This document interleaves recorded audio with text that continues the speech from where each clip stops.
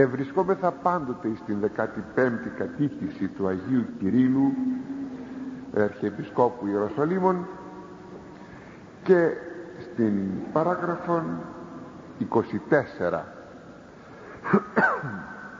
σας είχα πει την περασμένη φορά ότι ε, αναφέρεται στο μέγεθος των τόπων απάντων ούτω και το πλήθος των νικητόρων λογίζεστε δει ότι δηλαδή ε, το μέγεθος των τόπων όλων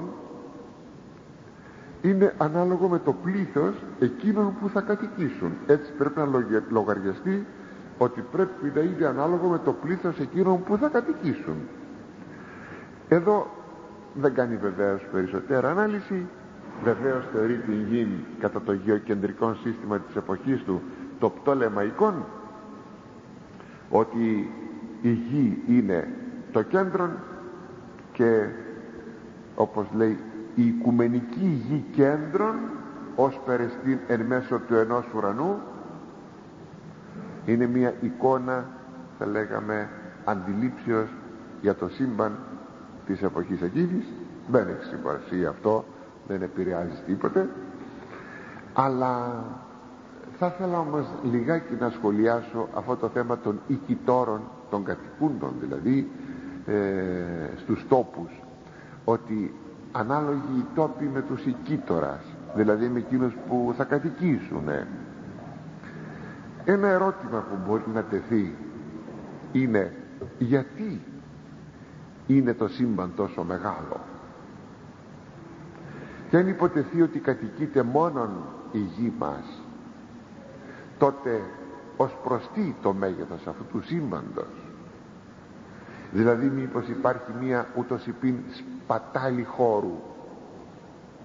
Και επιτέλους και γιατί ο κόσμος οι άνθρωποι κατοικούν ε, πάνω σε έναν πλανήτη τόσο μικρό και ένας πλανήτης ο οποίος θα μπορούσε ε, να είναι πολύ πιο μεγάλος και να μην υπάρχει ούτε δημογραφικό πρόβλημα ούτε μαλθουσιανισμός και νεομαλθουσιανισμός που ομιλεί για το θέμα η θεωρία αυτή που αναφέρεται στην, ε, στον περιορισμό των γεννήσεων ή στον έλεγχο των γεννήσεων ή πόλεμοι ακόμη ε, ε, ή ακόμη προβλήματα ζωτικού χώρου διαβιώσεως, σιτισμού και τα λοιπά και τα λοιπά γιατί; Βέβαια αυτό το δεύτερο είναι εύκολο να απαντηθεί.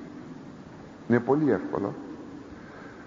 Αναφέρει πολύ ωραία ο Άγιος Ειρηναίος την απάντηση και λέγει ότι χωρίς βεβαίως να ξέρει ότι η γη μας είναι μικρή γιατί πάντα στους αρχαίους έμενε η εικόνα ε, ότι η γη είναι απέραντη και ο ουρανός είναι απέραντος.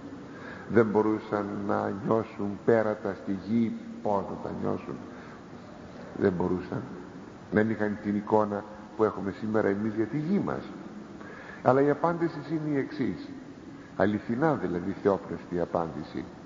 Ότι ο Θεός λέγει έκανε τον κόσμο όπως είναι εννοεί τη γη ώστε δεν θα είναι μόνιμη κατοικία του ανθρώπου ώστε να χρειαστεί να είναι κάπως διαφορετική η γη θα λέγαμε μεγάλη εμπροκειμένο αφού δεν είναι μόνιμη κατοικία του ανθρώπου και ένας δεύτερος λόγος είναι ότι έπρεπε ο άνθρωπος να έχει την εξάρτησή του από το Θεό ακριβώς μέσα σε μία, σε μία κατοικία που θα μοιάζει ότι είναι στενόχωρη.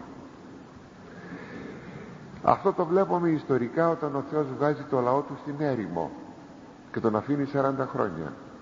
Ανάμεσα στα πολλά που ήθελε να τον παιδαγωγεί στο λαό του ήταν και αυτό. Το να ζει να μπει μέσα στο κύτταρο του λαού του η πίστη στην εξάρτηση του από το Θεό. Ότι σε μία έρημο ποιος μπορεί να σπείρει και να θερήσει; Και ποιος μπορεί να ζήσει; Ε λοιπόν σε αυτήν την έρημο ο Θεός στέλνει το μάνα. Δηλαδή ο λαός όφιλε να εξαρτάται από το Θεό. Σε αυτή λοιπόν τη μικρή μας γη τώρα οι άνθρωποι παιδαγωγούνται να εξαρτώνται από τον Θεό αυτός είναι ο δεύτερος λόγος. Ο πρώτος λοιπόν ότι δεν είναι η μόνιμος κατοικία του ανθρώπου και ακόμη ότι όπως σας είπα πρέπει να έχουμε την εξάρτησή μας από το Θεό. Είναι πολύ σπουδαίοι αυτοί οι δύο λόγοι. Αν τους μελετήσουμε θα δούμε πόσα μπορούμε καλά και αγαθά να βγάλουμε. Αλλά ως προς το γιατί το σύμπαν έγινε τόσο μεγάλο αυτό τι θα μπορούσαμε να απαντήσουμε. Εδώ έχει έναν υπενιγμό ότι ανάλογα με τους οικίτορας είναι και τα μεγέθη των τόπων. Τίποτα άλλο δεν μας λέγει. Βέβαια θα μου πείτε μπορούσε να γνωρίζει ο Άγιος Κύριλλος ε, τι διαστάσεις έχει το σύμπαν; Όχι. Όχι. Πού να εγνώριζε; Είχαν τηλεσκόπια την εποχή εκείνη. Μπορούσαν να μετράνε τις αποστάσεις του ουρανού; Να χαρτογραφούν τον ουρανό όχι. Αλλά ακούστε αγαπητοί μου σήμερα μπορούμε να το ξέρουμε εμείς αυτό. Πάντα με βάση την Αγία Γραφή. Όταν λέγει ο Απόστολος Ευαγγελιστής Ιωάννης στην Αποκάλυψη ότι είδα καινούριους ουρανούς και καινούργια γη εννοεί δηλαδή έναν καινούριο κόσμο όχι διότι ο παλαιός θα γίνει το μηδέν ούτε θα πήγαινε πιο πέρα για να μπει στη θέση του κάποιος άλλος. Όταν λέγει έφυγε ο παλαιός ουρανός έφυγε και η γη και είδα νέων ουρανών νέα γη. Όχι ότι γίνεται μια μετάθεση πηγαίνει κάπου πλάι. Και εδώ δημιουργείται ένας καινούριος κόσμος. Όχι. Πού θα πάει ο παλιός; Τι έννοια έχει αυτό το θα πάει πιο πέρα δεν έχει έννοια αλλά αυτό είναι μία μετάθεσης όχι τοπική αλλά μία μετάθεσης τροπική.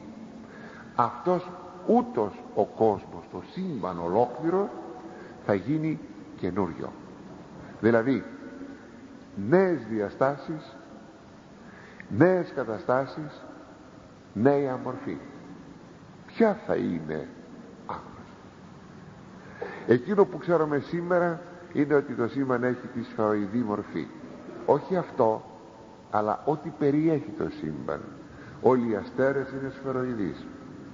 Αυτό ξέρουμε. Και η γη είναι σφαιροειδής τότε όταν λέει ο Ευαγγελιστής Ιωάννης δεν είδα πια τον ήλιο δεν είδα πια τη γη ε, συγγνώμη τη σελήνη μας δίνει έναν υπενιγμόν χωρίς να πούμε πιο πολλά δεν ξέρουμε ότι ίσως δεν θα υπάρχει το σφαιροειδές των σωμάτων στον καινούργιο ουρανό και στην καινούργια γη. Τι; Με ξέρουμε ο Θεός ξέρει. Είναι εκείνο που λέγει βλέποντας ο Απόστολος Παύλος ζώντας ε, λίγο αυτήν την βασιλεία του Θεού. Μάλιστα εν παραδείσο όταν λέγει δεν μπορούν να υποθούν εκείνα τα οποία ο Θεός έχει ετοιμάσει για εκείνους που τον αγαπούν ουκ εξώνε στην ανθρώπο λαλίσε όχι με την έννοια πάντα ότι δεν επιτρέπεται γιατί το εξών δεν σημαίνει μόνο το επιτρέπω σημαίνει και το δυνατόν. Αλλά και ότι ε, δεν είναι δυνατόν να πει κανείς εκείνα τα οποία έχει ετοιμάσει ο Θεός. Και ούτε ανέβηκαν ποτέ λέει σε καρδία ανθρώπου δηλαδή δεν έγιναν αντικείμενο επιθυμίας ούτε ακόμη ε, εικόνα οφθαλμών και ακρόαμα αυτιών είναι κάτι που δεν μπορεί να το συλλάβει καμία ανθρωπίνη φαντασία. Αλλά αυτός ούτως ο κόσμος ο παλαιωμένος θα γίνει καινούριος. έχουμε πλήθος χωρία και στην Παλαιά και στην Καινή Διαθήκη που ομιλούν για αυτό το ξεκαινούργωμα του κόσμου. Ο Κύριος το λέει με την λέξη παλιγγενεσία παλιγγενεσία θα πει παλιγγενεσία το να γίνει κάτι καινούριο αυτό που έχει παλιώσει αλλά όλοι εκείνοι που θα αναστηθούν θα είναι κάτοικοι αυτού του απεράντου κόσμου. Τι τρόπο, πώς και τα λοιπά και των Αγίων Αγγέλων και των ανθρώπων. Ένα μόνο ότι αυτή η απέραντη ουρανή είναι, θα είναι η καινούργια κατοικία των καινούριων ανθρώπων. Λέει ο Άγιος Ειρηναίος στους ουρανούς το λέει και ο Άγιος Πέτρος ο Άγιος Απόστολος Πέτρος ότι στους καινούριους ουρανούς εμείς ουρανείς το λέει το χειδωτική δικαιοσύνη κατοικεί. Κατοικεί η δικαιοσύνη. Δηλαδή η αγιότητα. Δεν θα υπάρχει πλέον η φθορά δεν θα υπάρχει αυτό που λέμε πια φυσική νόμη και μεταβολές. Τι θα είναι ακόμη λέει ο Ευαγγελιστής Ιωάννης θάλασσα δεν είδα σύμβολον όχι μόνο καθεαυτήν την θάλασσα αλλά και σύμβολον ακόμη των μεταβολών πάντα η θάλασσα είναι το σύμβολο των μεταβολών. Αυτό, αυτά σαν ένα σχολιασμό σε αυτή τη μικρή του φρασούλα που την περασμένη φορά την περάσαμε γρήγορα και σας είχα υποσχεθεί ότι κάτι θα λέγαμε στο προσεχές μας, προσεχές μας θέμα. Και πηγαίνω τώρα πιο κάτω στο καινούριο, στο καινούριο κείμενο.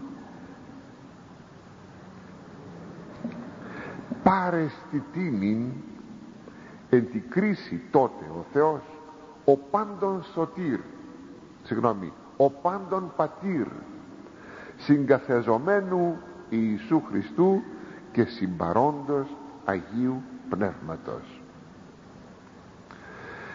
τότε λέγει θα είναι παρόν στην κρίση ο Θεός ο πατήρ όλων ο Ιησούς Χριστός ο οποίος θα συγκάθεται συγκαθεζομένου του Ιησού Χριστού μετά του Πατρός και το Πνεύμα το Άγιον συμπαρόντος λέει εδώ το οποίο θα είναι μαζί με τον Πατέρα και τον Υιόν θα είναι παρόν. Εμείς ξέρουμε θα μας το πει εξάλλου ο Άγιος Κύριλλος λίγο πιο κάτω αλλά όταν θα το συναντήσουμε θα το περάσουμε γιατί θα το εξηγήσουμε τώρα. Ότι την κρίση την έχει ο Υιός. Ναι. Λέγει ο ίδιος ο Χριστός ότι την κρίση όλη την κρίση την έχει παραδώσει στα χέρια του Ιού ο Πατήρ. Ότι ο Πατήρ δεν κρίνει κανέναν αλλά κρίνει ο Υιός. Ναι αλλά δεν αποξενώνεται ο Πατήρ. Στην κρίση είναι και ο Πατήρ είναι και το Πνεύμα το Άγιον. Αλλά νευματί Πατρός δηλαδή με το νεύμα του Πατρός κρίνει ο Υιός και κρίνει με την ανθρωπίνη του φύση. Αυτό είναι το χαρακτηριστικό. Και μάλιστα αν το θέλετε το λέγει ο ίδιος όταν έλθει ο Υιός του ανθρώπου. Τότε να κρίνει τον κόσμο. Και λοιπά. Δεν λέγει ο Υιός του Θεού αλλά λέγει ο Υιός του ανθρώπου. Συνεπώς θα είναι παρόν ο Υιός ως Θεάνθρωπος. Γι' αυτό σας είπα είναι παρόν και ο Πατήρ και το Πνεύμα το Άγιον. Εξάλλου ποτέ δεν είναι μόνος ο Υιός. Πάντοτε είναι μετά του Πατρός και μετά του Αγίου Πνεύματος. Η κρίση λοιπόν είναι και των τριών προσώπων αλλά θα φαίνεται μόνον μόνον η, η ανθρωπίνη φύση του Χριστού ως κριτής άνθρωπος ανθρώπων. Σάλπινγκς αγγελική προσκαλείται πάντας ημάς τα πεπραγμένα φορούντας. Ότι σάλπινγκ αγγελική λέγει θα μας προσκαλέσει όλους που θα φοράμε τα πεπραγμένα. Εδώ προσέξτε λιγάκι. Ξέρουμε από πολλά σημεία και της Καινής Διαθήκης ότι σάλπινγκς αρχαγγέλου θα σαλπίσει. Τώρα τι σάλπιγγα θα είναι αυτή; Όχι βεβαίως εκείνη την οποία διαθέτουμε στα στρατόπεδα για να κάνουμε το προσκλητήριο των στρατιωτών. Είναι μια εικόνα αυτό.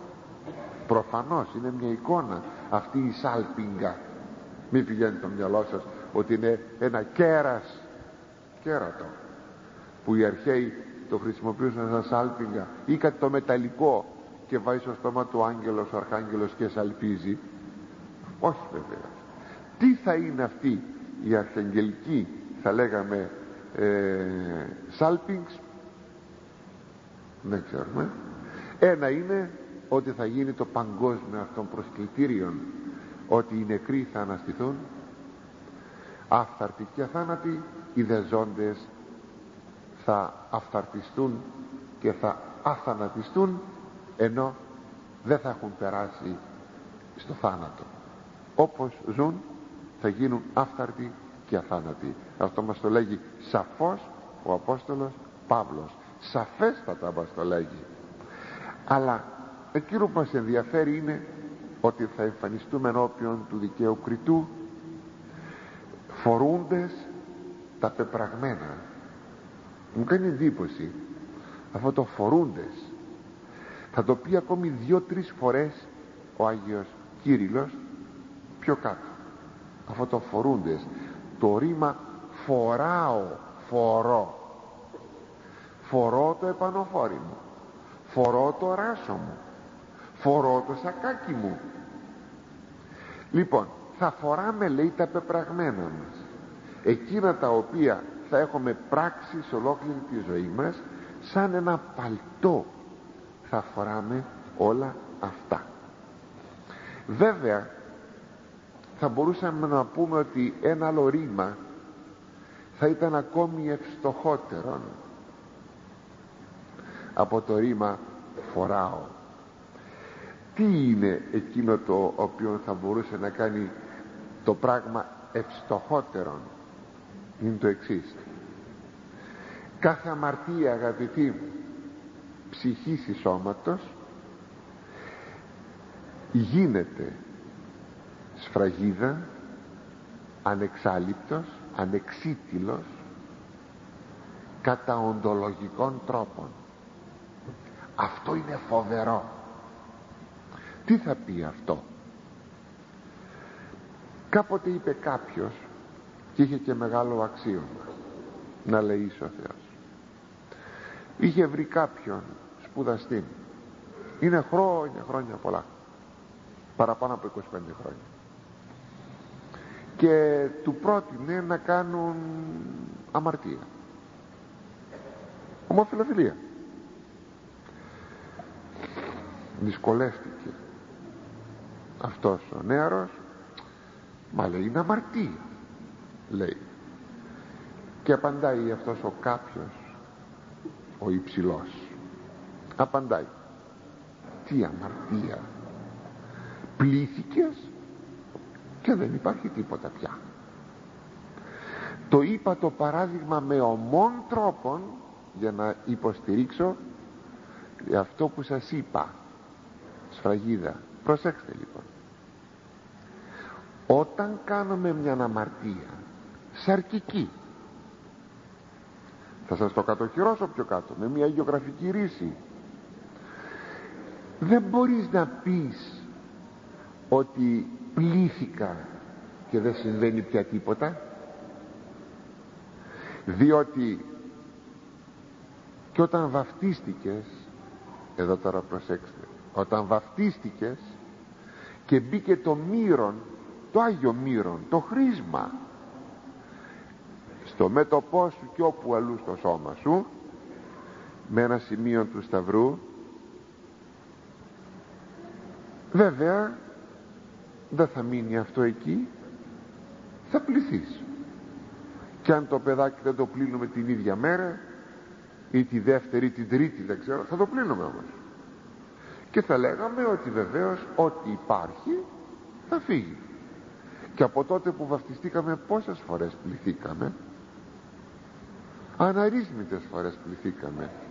Ένα λοιπόν έφυγε εκείνο ποιος σας το είπε ότι έφυγε; Η σφραγίδα εκείνη του χρήσματος που είναι, που είναι θα λέγαμε η παρουσία η υλική παρουσία του Αγίου Πνεύματος είναι σφραγίδα ανεξίτηλος ανεξάλληπτος θέλετε ακόμα. Δεν είναι μόνο η σφραγίδα εκείνη του Αγίου Χρήσματος αλλά και του βαπτίσματος. Θέλετε ακόμα. Είναι και η σφραγίδα ανεξίτηλος της ιεροσύνης. Χίλιες φορές να καθαρέσουν έναν κληρικόν για κάποιο λόγο αδίκως ίσως δίνεται να ανακληθεί. Δεν γίνεται πάλι χειροτονία διότι η, χειρο, η διότι η ιεροσύνη είναι ανεξίτηλος. Τότε όταν εγώ ομιγέννητο ε, μου αφαιρέσουν την ιεροσύνη αφαιρέσουν ως αγωγικών και κάνω ένα γάμο μια βάφτιση είναι άκυρα αυτά που έκανα. Τι σημαίνει αυτό; Έχασα την ιεροσύνη μου. Όχι δεν την έχασα. Αλλά τι η ιεροσύνη ανα πάσα στιγμή εξαρτάται από τον επίσκοπο. Και μένει ανενέργητος. Ανενέργητος μένει η ιεροσύνη. Όταν λοιπόν θα γίνει ανάκλησης τότε η ιεροσύνη η οποία είναι ανεξάλληπτος μετα... ανακαλείται και επανέρχεται στην ενέργειά της. Έτσι και το βάπτισμα έτσι και το χρήσμα έτσι και η ιεροσύνη άρα η σφραγίδα είναι πλέον όχι επιφανειακή να πω πλήθηκα και έφυγα έφυγε αλλά τι είναι; Είναι οντολογική. Και είναι σφραγίδα επί της υπάρξεώς μου. Περισσότερο από ότι θα μπορούσα να πω ότι διατηρώ τα κύτταρά μου τα οποία κύτταρά μου κατάλουσε τρία χρόνια κατάλουσε πέντε χρόνια και κατάλουσε επτά χρόνια τα αλλάζω όλα τα κύτταρά μου. Ξέρετε ότι ο άνθρωπος κάθε ας το πούμε 7 χρόνια ας πάρουμε το τελευταίο νούμερο ο άνθρωπος δεν κρατάει τίποτα από τον παλιό του εαυτόν από πλευράς κυταρικής. Παρά τα αυτά παρά τα αυτά και τα, και τα κύτταρα του εγκεφάλου όλα όλα όλα όλα όλα όλα, όλα. παρά τα αυτά είμαι εγώ ο ίδιος από τον καιρό που γεννήθηκα. Ενώ άλλαξαν τα κύτταρά μου είμαι εγώ ο ίδιος και διατηρώ την ίδια μου συνείδηση δεν έχω καμία διαφορετική συνείδηση ότι έγινα κάτι άλλο. Πως γίνεται αυτό; Ε αυτό που συμβαίνει στο να διατηρώ την αυτοσυνειδησία μου ενώ έχουν αλλάξει όλα μου τα κύτταρα πολλές φορές αν είμαι γέρον πολλές φορές στη ζωή μου το ίδιο πράγμα συμβαίνει αγαπητοί μου δηλαδή μένει η οντολογία της προσωπικότητός μου. Πώς να το πω. Κατά τον ίδιο τρόπο μένει και η αμαρτία. Γι' αυτό τώρα μπορούμε να κατανοήσουμε εκείνο το ακατανόητο που λέει ο Απόστολος Παύλος στην πρώτη προς Κορινθίους επιστολή του. Στο έκτο κεφάλαιο. Παν αμάρτημα ο εάν ποιήσει άνθρωπος εκτός του σώματος εστίν ο δε πορνεύων εις το ίδιο σώμα αμαρτάνει. Δύναμε να αμαρτάνω και εις το σώμα μου. Ναι. Ανεξαλείπτος ανεξαλείπτος και ανεξιτήλος. Ακατανόητο αλλά αληθές. Όταν λοιπόν θα γίνει εδώ τι είπε ο Άγιος Κύριλλος; Τα πεπραγμένα φορούντα φορούντας. ε, που θα φορούμε τα πεπραγμένα μας. Θα τα φορούμε. Και θα έχουν γίνει ένα με την ύπαρξή μας. Εδώ μια μικρή αυτή ένα σχόλιο στον Άγιο Κύριλλο. Γι' αυτό δεν μπορεί να μπει στη Βασιλεία του Θεού εκείνος ο οποίος μετά την Ανάσταση των νεκρών θα φοράει τα πεπραγμένα του τα οποία θα τον καθιστούν ακατάλληλον να μπει στη Βασιλεία του Θεού θα τον καθιστούν ακατάλληλον το υπογραμμίζω. Αλλά ότι θα είναι αυτή η οντολογία επί του σώματος και ότι θα δώσουμε λόγο με το σώμα μας ό,τι πεπραγμένον επί της ψυχής ό,τι πεπραγμένον επί του σώματος ακούστε πως το λέγει ο Απόστολος Παύλος. Είναι από τη Δευτέρα προς Κορινθίους 5,10 λέει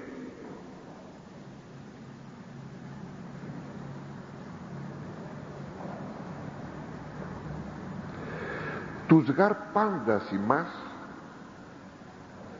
πάντα ημάς όλοι. Φανερωθήνε δι πρέπει να φανερωθούμε. Φανερωθήνε. Το φανερωθήνε δείχνει ότι θα πάρουμε το σώμα μας πίσω και θα γίνουμε φανεροί. Έμπροσταν του βήματος του Χριστού. Ώστε λοιπόν όλοι εκείνοι που θα σταθούν την ημέρα της κρίσεως θα είναι βεβαίως με την όλη τους την πλήρη τους ανθρωπίνη φύση. Και τώρα λέει ο Απόστολος ή να κομίσετε έκαστος για να πληρωθεί θα λέγαμε να μεταφέρει κατά λέξη να πληρωθεί τα δια του σώματος προς α έπραξαν είτε αγαθών είτε κακών εκείνα τα οποία έπρεξε δια του σώματος ώστε λοιπόν το σώμα έχει έχει θέση στην κρίση. Ναι είναι αυτό που λέει ο, Κύριλλος, ο Άγιος Κύριλλος θα φορούμε τα πεπραγμένα μας και θα δώσουμε λόγο εις τον Θεό είτε αγαθών είτε κακών βέβαια επειδή τα θέματα αυτά που κάνουμε είναι ελεύθερα τι εννοώ ελεύθερα; Μένω στο κείμενο και από μνήμης ό,τι μπορώ να θυμάμαι. Σας τα λέγω. Είναι κάτι που το βλέπετε καθαρά. Δεν έχω τίποτα σημειώσει μπροστά μου. Έξω, έξω από υπογραμμίσεις και στο περιθώριο μερικά πραγματάκια αυτό το ρητό το έγραψα από κάτω για να σας το πω. Ε, θα είχα πάνω σε αυτό ωραιότατα γιατί έχω αλλά πρέπει να τα ψάξω να τα γράψω μετά να κάνουμε πιο πολύ δουλειά. Έχω ωραιότατα χωρία πατέρων της Εκκλησίας μας που ομιλούν για το θέμα αυτό. Πως δηλαδή με το ανθρώπινο σώμα μας θα σταθούμε μπροστά στον Χριστόν κριτήν. Αυτό λοιπόν λέει πολλά. Θα παρακαλέσω όλοι μας ας το έχουμε υπόψη μας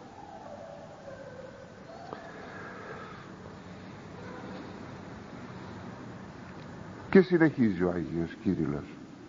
Αρού κοφίλομεν εντεύθεν ήδη αγωνιάσε αρ ουκ άρα ουκ ώστε λοιπόν άρα λοιπόν δεν οφείλουμε από εδώ πια από την παρούσα ζωή να αρχίσουμε να, αγωνια... να αγωνιζόμεθα.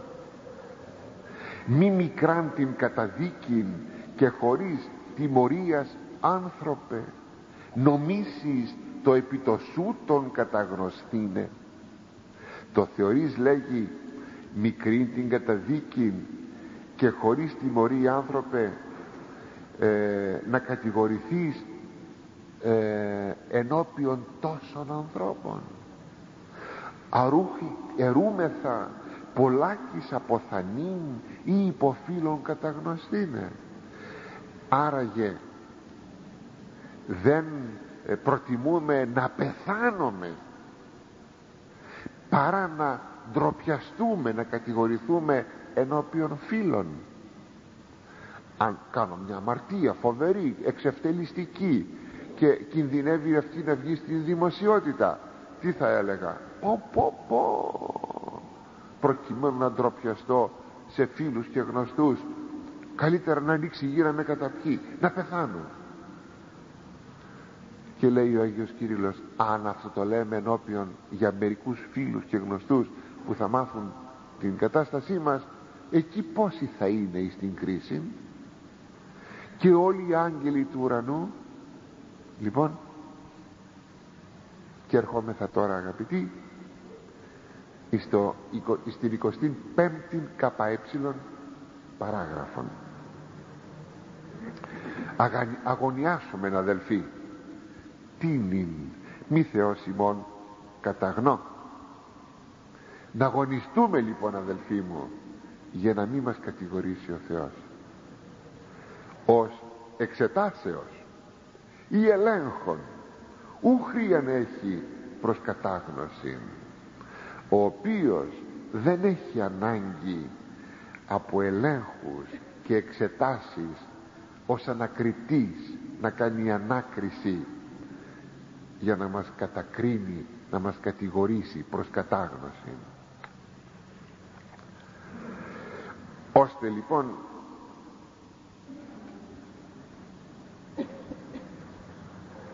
μη είπεις ο, το παρακάτω ή να αλλάξω. Μη είπεις ότι νυχτός επόρνευσα ή εμάγευσα ή ετερόντι έπραξα και άνθρωπος ου παρήν εκεί. Μη πεις ότι ήταν νύχτα όταν είχα πορνεύσει.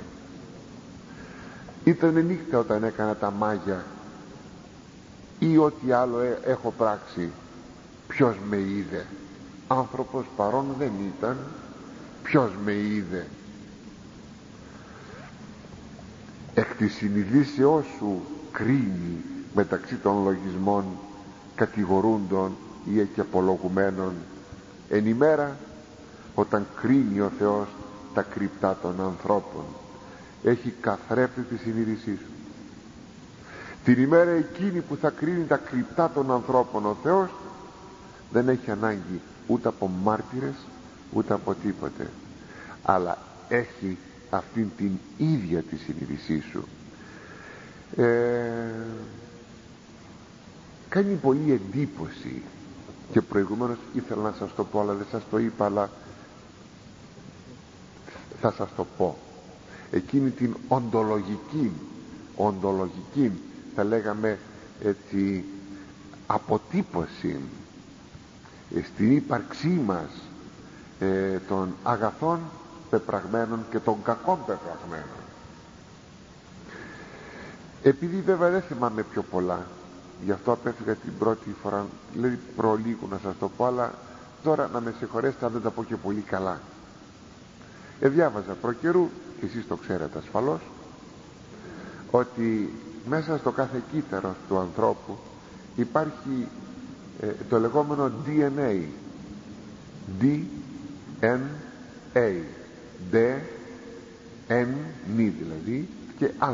DNA έτσι λέγεται. Είναι αρχικά τριών λέξεων. Τώρα προσέξτε αν κάνω και κανένα λάθος ε, επιτρέψτε μου ε, ζητώ συγγνώμη γιατί δεν το θυμούν πιο πολύ καλά. Στο κάθε κύτταρο λοιπόν υπάρχει αυτό το DNA και το DNA δεν είναι τίποτε άλλο παρά είναι σύγχρονες ανακαλύψεις αυτές της βιολογίας υπάρχει υπάρχει ε, μία ταινία πώς θα το πούμε σαν μια κλωστή η οποία είναι χιλίων χιλιόμετρων. Πείτε λοιπόν ότι ε, το κάθε κύτταρο να το πάρω λιγάκι εικονικά ότι είναι ένα μαγνητόφωνο με μια κασετοτενία χιλίων χιλιόμετρων είναι χιλίων χιλιόμετρων. Αυτό που σας είπα έτσι είναι. Δεν το λέω εικονικά αυτό. Σε όλη τη ζωή του ανθρώπου καταγράφεται κάθε του κίνησης, κάθε του πράξης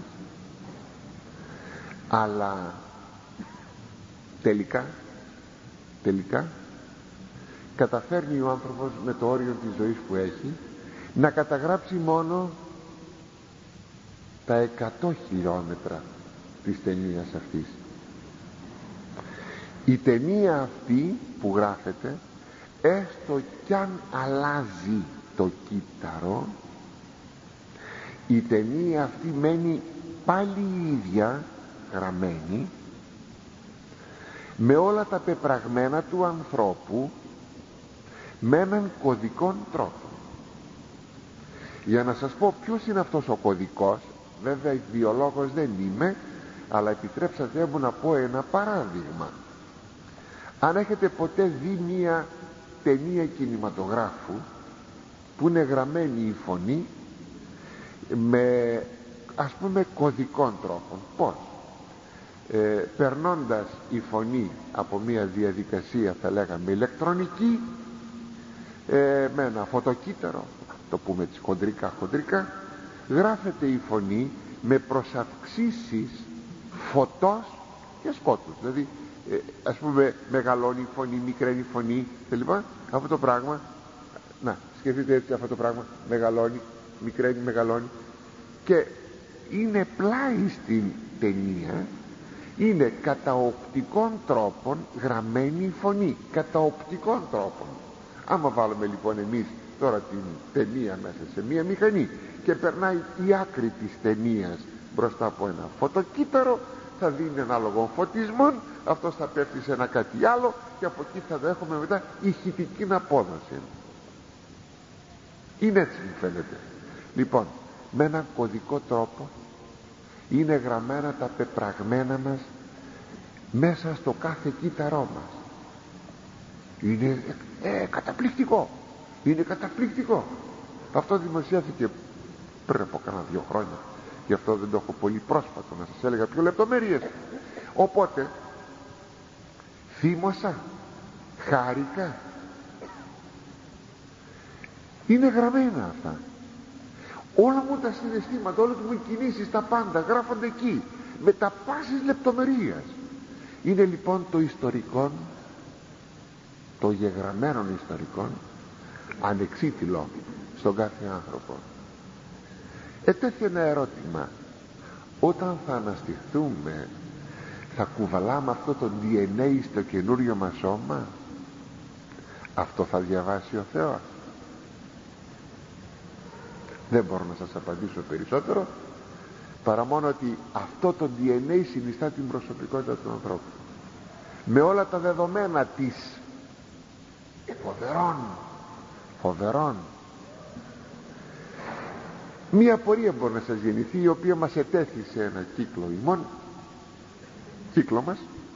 Και εγώ έδωσα την εξής απάντηση έτσι το σκέφτηκα χωρίς να έχω την απέτηση ότι μπορεί να είναι σωστό αυτό που θα, που θα ακούσετε τώρα. Αλλά μου φαίνεται πως σας το έχω πει και άλλη μια φορά αυτό το σημείο. Γιατί ο Θεός έβαλε ένα νήμα δηλαδή μια ταινία που θα γραφτεί και να είναι χιλίων χιλιόμετρων και σε όλη τη ζωή του ανθρώπου στα 75, του 80, του 90, του 100 χρόνια να γραφεί μόνο να γραφούν μόνο τα 100 χιλιόμετρα. Όταν λέω χιλιόμετρα είναι χιλιόμετρα. Καταλαβαίνετε αυτό τι μικρό είναι και πόσο πολύ είναι. Είναι, είναι απίθανο είναι απίθανο. Και τα άλλα 900 χιλιόμετρα. Γιατί τα έβαλε ο Θεός; Μία πιθανολογουμένη απάντηση πιθανολογουμένη. Την πιθανολογώ. Δεν μπορώ να το ξέρω. Είναι η εξής. Μα ο πρώτος Αδάμ πλησίασε τα χίλια χρόνια. Έζησε 930 χρόνια. Και ο Μαθουσάλας έζησε 960 χρόνια. Συνεπώς αυτόν η ιστορία αν ήταν μόνο για 100 χρόνια πού θα εγγράφεται αλλά στον κάθε άνθρωπο μένει αυτό και σαν μια άλλη ακόμη απόδειξη ότι θα ζούσε χίλια χρόνια όπως έζησε ο Αδάμ. Και ότι ο Αδάμ πράγματι τότε έζησε αληθινά χίλια χρόνια. Αυτό σας το είπα για να σας κουράσω λιγάκι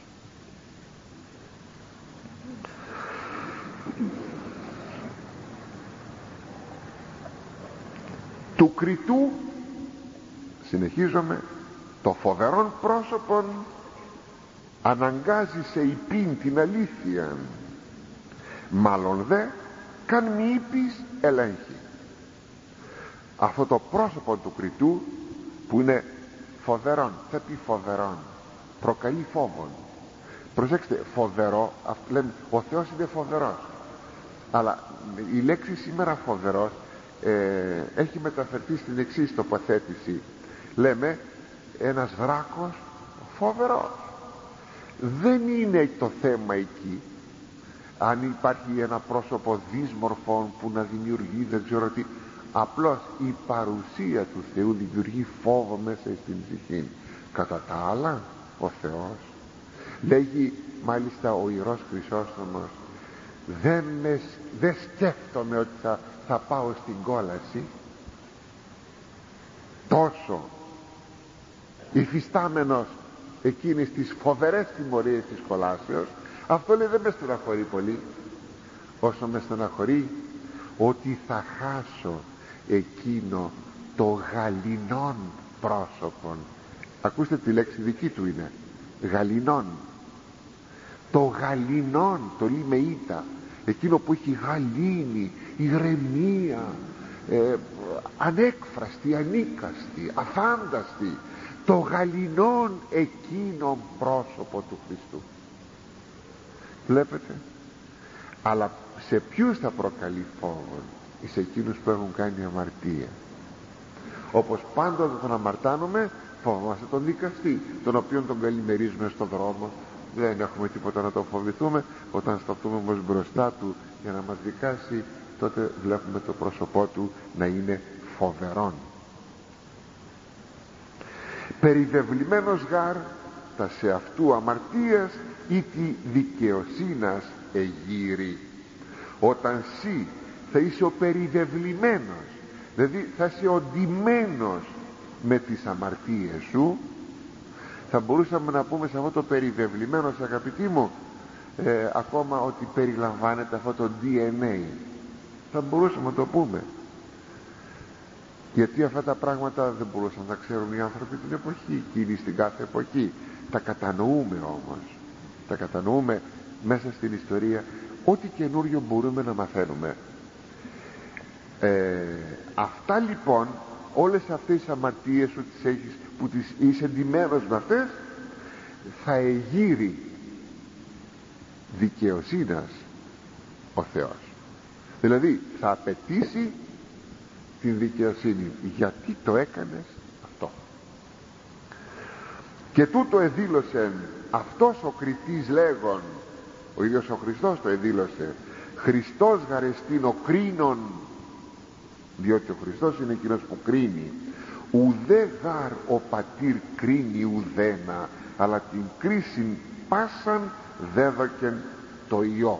Αυτό που σας είπα προηγουμένως δεν κρίνει κανέναν ο πατήρ αλλά όλη την κρίση την δίδει εις τον Υιόν όπως μας λέγει ο Ευαγγελιστής Ιωάννης εις το πέμπτο κεφάλαιο στίχος 22 ουκ απαλωτριών εαυτών της εξουσίας αλλά δια του Ιού κρίνων ότι ο πατήρ δεν αποξενώνεται από την κρίση αλλά δίδει όμως την εξουσία εις τον Υιόν του ως άνθρωπον.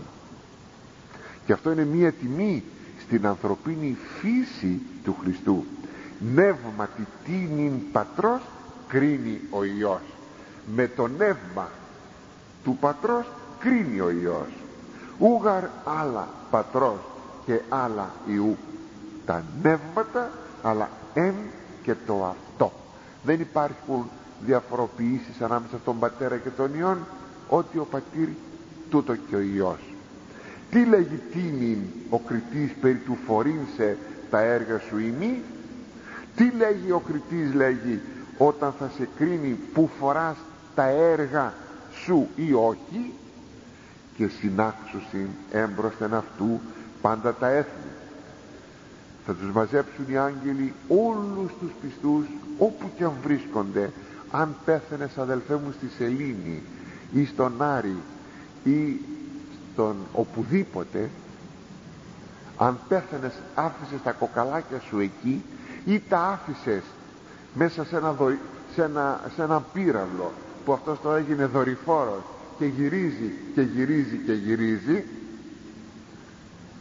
θα σε βρουν οι άγγελοι θα σε μαζέψουν.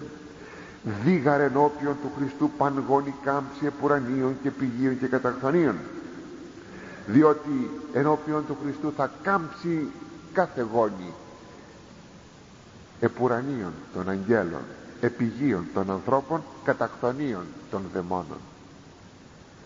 Και αφορήσει αυτούς απαλήλων όσπερ οπιμήν αφορίζει τα πρόβατα από τον ερήφων και θα ξεχωρίσει τους μεν από τους δε όπως ο ποιμένας, ο τσομπάνης ξεχωρίζει, αφορίζει, ξεχωρίζει τα πρόβατα από τα κατσίκα. Τι λέτε; Εγώ ξέρω ότι οι τσομπάνιδες ξέρουν τα πρόβατά τους. Πολλές φορές αναρωτιέμαι και λέω αν έχει 50, 100, 200 πρόβατα αυτός ο τσομπάνης πού τα ξέρει τα πρόβατά του ότι αυτό είναι νους χρονού εκείνο δυο χρονών ότι, ότι, ότι. Τα ξέρει όλη μέρα είναι μαζί τους. Τα ξέρει. Τι λέτε αν ξέρει τα πρόβατα δυσκολεύεται να ξεχωρίσει τα πρόβατα από τα κατσίκια. Μα ο πιο αδαής μπορεί να ξεχωρίσει την κατσίκα από το πρόβατο. Τι σημαίνει αυτό; Γιατί είπε ο Κύριος εδώ όπως χωρίζει τα πρόβατα από τα κατσίκια όχι τα κατσίκια αντιπροσωπεύουν τους αμαρτωλούς αλλά θέλει να δείξει το εύκολον της αναγνωρίσεως. Αυτό. Το εύκολον της αναγνωρίσεως. Ότι σε αναγνωρίζει εύκολα. Μάλιστα μερικοί λένε κατσίκι πως δηλαδή τίποτα. Σε αναγνωρίζει εύκολα με την ευκολία που αναγνωρίζει ο τσομπάνης το πρόβατο από το κατσίκι. Και μάλιστα ακούστε πως θα λέγαμε με έναν εκτενέστερο τρόπο μας το λέγει αυτό ο Άγιος Κύριλλος. Ο ποιμήν πως αφορίζει πως και χωρίζει λέει ο Τσομπάνης. Άρα εξετάζον από βιβλίου τι μένες, τι πρόβατον, τι δέρι, πως μήπως ανοίγει λέει καμιά φυλάδα ανοίγει καμία εγκυκλοπαίδεια να δει από τι ξεχωρίζει το κατσίκι από το πρόβατο ή από το φαινομένο διακρίνει ή από εκείνο που φαίνεται το ξεχωρίζει. Τι δηλαδή; Ουχή μεν το αέριον δειλεί το πρόβατον το δε τριχώδες και σκληρών δειλεί τον, έρι, τον έριφον από το τρίχωμα. Το πρόβατο τι τρίχωμα έχει; Εκείνο το απαλό το γνωστό η κατσίκα το κατσίκι τι έχει εκείνο τη σκληρή τρίχα. Από την τρίχα λέει ξεχωρίζει ότι αυτό είναι κατσίκι αυτό είναι πρόβατο. Εάν μεν καθαριστείς άρτη των αμαρτιών τας πράξεις έχει συγγνώμη εάν μεν καθαριστείς άρτη των αμαρτιών τας πράξεις έχεις εις το εξής ως αερίων καθαρών και μένει σου αμόλυντος η στολή και λέγεις πάντοτε το εξεδισάμι των χιτώνα μου πως ενδύσω με αυτόν είναι από το ασμασμάτων αυτό. Δηλαδή εάν καθαριστείς από τις αμαρτίες σου τότε απέβαλες εκείνο το οποίο φορούσες. Και τότε θα πεις εγώ ξεντήθηκα τον χιτώνα μου πως πάλι θα τον ξαναντηθώ εκ της περιβολής γνωρίζει πρόβατον εάν δε τριχώδης ευρεθείς κατά τον Ισάφ τον δασίν εν θρηξή και φαύλων εν θυενία τον απολέσαντα τα πρωτοτόκια διαβρώματα και πουλήσαντα την αξία γεννήσει των αριστερών αν όμως είσαι ο τριχώδης δηλαδή πως εικόνα πάλι όπως ο Ισάφ ήταν δασίτριχος από πού μπορούσε να γνωρίσει ο Ισάφ ο, ο, ο, ο Ισαάκ τον Ισάφ από τον, από τον Ιακώβ; Ο ένας ήταν δασίτριχος φοβερά δασίτριχος. Είχε τυφλωθεί ο Ισαάκ. Και τότε όταν πήγε και είπε εξαπατών εννοείται ο Ιακώβ ότι εγώ είμαι ο Ισαάκ τότε ο, ο Ισαάκ πιάνει το χέρι του, του Ιακώβ και αρχίζει να τον ψάχνει. Αλλά φρόντισε η Ρεβέκα να φορέσει μια προβιά ε, κατσικίσια ε, να την κολλήσει φρέσκια όπως θα πάμε εδώ στις, στους βραχίονές του ο Ιακώβ και να πει περίεργο λέει ο τυφλός Ισάκ η φωνή μεν είναι φωνή του Ιακώβ αλλά τα χέρια είναι χέρια του Ισάκ επίστη όμως ότι είναι ο Ισάκ ενώ δεν είναι και είπε πάρε την ευλογία παιδί μου την ευλογία να φέρεις στον Μεσσία και όταν γύρισε ο Ισάκ ο, ο Ισάκ πάει η ευλογία ο οποίος λέγει απόλεσε τα πρωτοτόκια διαβρώματα για να φάει ένα πιάτο φαγή πωλήσαν την αξία και λοιπά.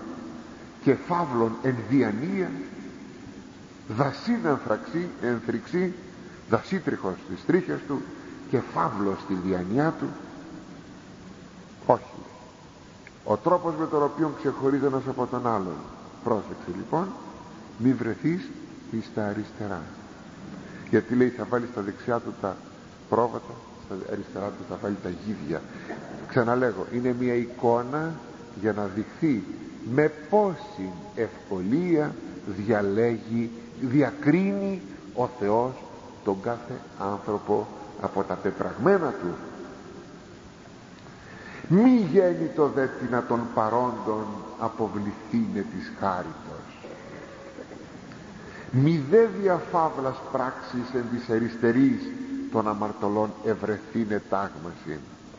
Εδώ τώρα μπαίνει η προσωπική θα λέγαμε φροντίδα του Αγίου Κυρίλου και ας μου επιτραπεί να μπω και να πω και η δική μου προσωπική φροντίδα. Δεν είναι δυνατόν να μην μπει αυτή η προσωπική φροντίδα. Και λέγει μη γέννητο κανείς από τους παρόντες να αποβληθεί από την χάρη ούτε από τις πονηρές πράξεις ε, τελικά να βρεθεί ανάμεσα εις τους ε, εν αριστερά ευρισκομένους μη γέννητο λέει. Και εγώ θα έλεγα με τη σειρά μου μη γέννητο. Όσοι ακούν τον Λόγο του Θεού όσοι είναι εδώ και ακούν τον Λόγο του Θεού να μην βρεθεί κανένας μας σε εκείνη την πολύ δυσάρεστη κατάσταση ή στα αριστερά. Δηλαδή ήδη πλέον θα είναι ο καταδικασμένος. Και πηγαίνουμε αγαπητοί μου στην 26η παράγραφον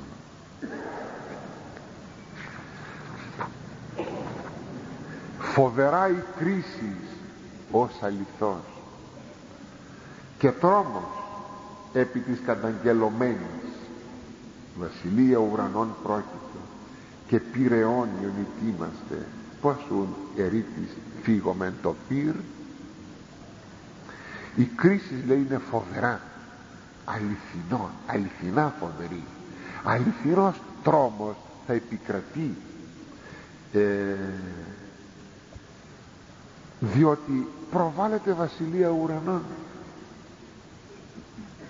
Αιώνιο πυρ έχει ετοιμαστεί. Πως λοιπόν θα πει κανείς θα αποφύγουμε αυτό το πυρ πως θα το αποφύγουμε; Και πως εισέλθομεν εις την βασιλεία πως θα μπούμε στη βασιλεία του Θεού; Βλέπεις το πυρ; Θυμηθείτε το όραμα του του, Ιεζεκί, του Δανιήλ που είδε, που είδε ποταμών πύρινων να φεύγει από τον θρόνο του Κρητού. Αυτός ο πύρινος ποταμός και άλλη φορά σας έχω πει εδώ το είπαμε. Σε αυτή την κατήχηση του Αγίου Κυρίλου μια περασμένη προπερασμένη φορά αν ενθυμίστε που δεν είναι παρά το, η Θεία Δόξα σας είχα πει η οποία ξεχωρίζει η διαμέν τους αμαρτωλούς φτάνει ως πύρη στην κόλαση διαδέ τους ευσεβείς εις την βασιλεία του Θεού φτάνει ως φως. Ως φως ως Θεία Δόξα. Αυτόν το πύρ της κολάσεως. Λοιπόν πως θα αποφύγουμε το πύρ της κολάσεως και πως θα εισέλθουμε στη βασιλεία του Θεού; Εδώ τώρα προσέξτε. Επίνασα φυσί και εδώ κατεμεί φαγή πίνασα λέγει ο κριτής και μου δώσατε να φάγω μάθετε την οδόν. Θα πει και λίγα πιο κάτω από εκείνα που είπε ο Χριστός αλλά μένω τώρα σε αυτό. Μάθετε την οδόν. Ου χρειανή αλληγορίας αλλά του επιτελέσε τα λεγόμενα. Εδώ θα σχολιάσουμε τι είπε ο Χριστός πείνασα και μου δώσετε να φάω. Έμαθε στην οδόν λέει ο Αγίος Κύριλλος να ο δρόμος. Είναι ο δρόμος της αγάπης. Η ελεημοσύνη είναι μία μορφή της αγάπης. Προσέξτε αυτό το σημείο. Είναι μία μορφή της αγάπης η οποία επιτέλους ε, δεν είναι και η αρίστη ή αν είναι η αρίστη δεν είναι το να ταΐσω των φτωχών διότι ένας ο οποίος ας πούμε ένας ασκητής στην έρημο του παλαιού καιρού ασκητής που δεν είχε τίποτε δεν είχε την δυνατότητα να κάνει ελεημοσύνη ε, πού να βρει ανθρώπους να τους ελεήσει.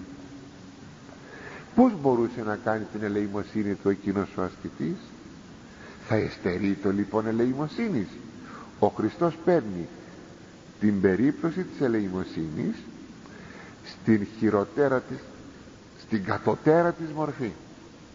Στην κατωτέρα κατωτέρα μορφή. Ώστε να μην πει κανένας δεν ήξερα δεν μπόρεσα και ποια είναι αυτή η κατωτέρα μορφή. Σε έναν πεινασμένο να δώσει να φάει. Σε έναν διψασμένο να του δώσει ένα ποτήρι νερό. Τι ευκολότερα. Αλλά ποιο ελεημοσύνη ποιο έλεος μετά του πλησίον δεν είναι μόνο τόσο ψωμί να φάει.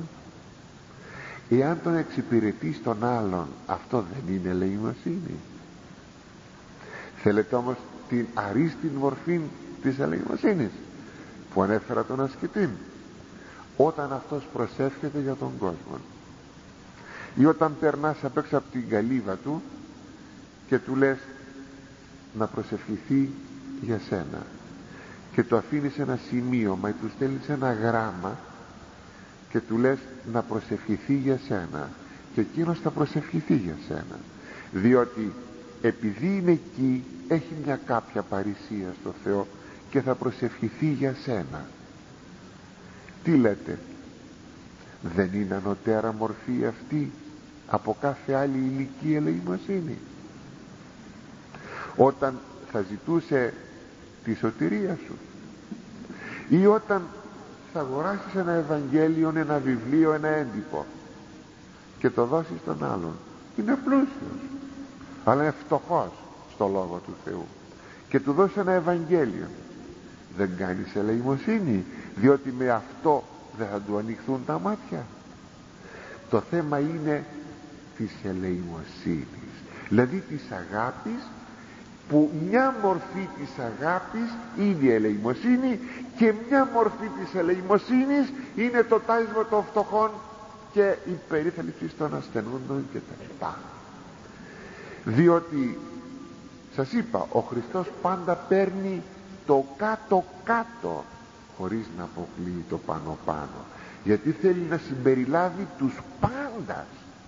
Μα τους πάντας να μην πει κανείς δεν είχα νερό να δώσω δεν είχες νερό να δώσεις δεν είχες νερό να δώσεις ωραία δεν είχες νερό να δώσεις δεν μπορείς να πεις από πού παίρνεις εσύ νερό για να πάει να πει ο άλλος εσύ δεν πίνεις νερό πίνεις πες κοίταξε να δεις δεν μπορώ να σου δώσω αλλά σε εκείνη την πηγή σε εκείνο το πηγάδι υπάρχει νερό.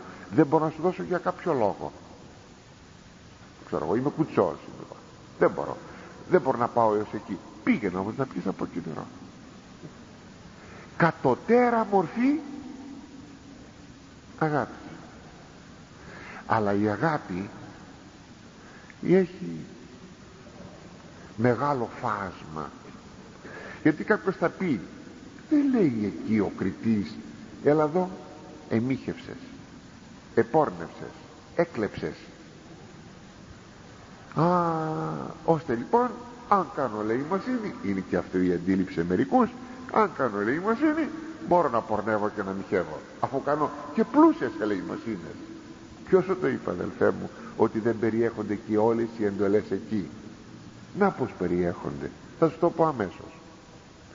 Πως είναι δυνατόν ποτέ να αγαπάς τον πλησίον όταν του καταστρέφεις την οικογενειακή του ευτυχία με την ηχεία σου; Δίνεσαι να λες ότι τον αγαπάς τον άλλον πως είναι δυνατόν να λες ότι αγαπάς τον άλλον τι κατάχρηση της λέξεως αγάπη ότι όταν εν ονόματι της αγάπης πορνεύεις και προσβάλλεις την εικόνα του Θεού στον άλλον άνθρωπο ή το ναό του Θεού που είναι ο άλλος άνθρωπος όταν μάλιστα είναι και βαπτισμένος; Λες ότι αγαπάς ψεύδεσαι.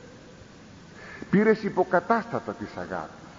Και όχι την αληθινή αγάπη γιατί εκείνος που αγαπά ούτε πορνεύει ούτε μοιχεύει ούτε κλέπτει. Λες ότι αγαπάς τον και τον κλέβεις. Μα πως είναι δυνατόν να κλέβεις εκείνον τον οποίο αγαπάς; Να λοιπόν που μέσα στην αγάπη περιέχονται όλες οι εντολές.